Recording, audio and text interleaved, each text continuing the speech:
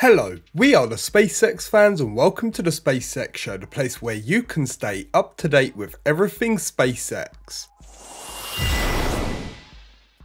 We've had a whole bunch of launches recently, mostly Starlink missions, but in a few days we'll have a different mission.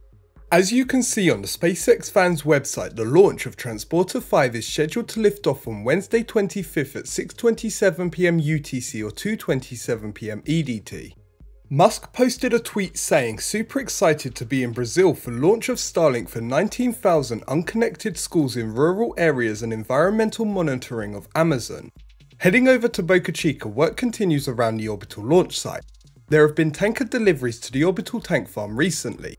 The orbital launch mount was seen doing some venting. The work on Star Factory has been continuing. The mystery box by the ground fabrication building is being painted white. Many moons ago, SpaceX made this crew access arm themed office which has now been moved. Here's a nose cone being worked on with almost full heat shield tiles.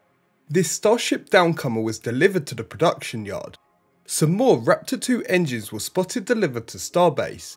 Here's Booster 7 in the Mega Bay undergoing Raptor installation.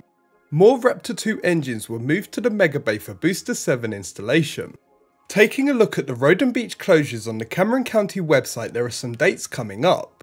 Hopefully we could see some more testing of Super Heavy Booster 7 this coming week. There are possible closures tomorrow Monday 23rd, Tuesday 24th and Wednesday 25th. This downcomer was lifted and lowered into Booster 8. Very short video today as little happened really. Nonetheless, I have to say thanks to Mary, also known as Boca Chica and Nic for being out there filming the Starbase content. Also thanks to the NASA spaceflight team working behind the scenes on their videos, live streams and other space content. That's it for this episode of the SpaceX Show, I hope you enjoyed the video, if you did, make sure to hit the like button and leave a comment down below. If you want to stay updated with SpaceX info, make sure to subscribe and press the bell icon to get notified when I upload. Thanks for watching and have a great day.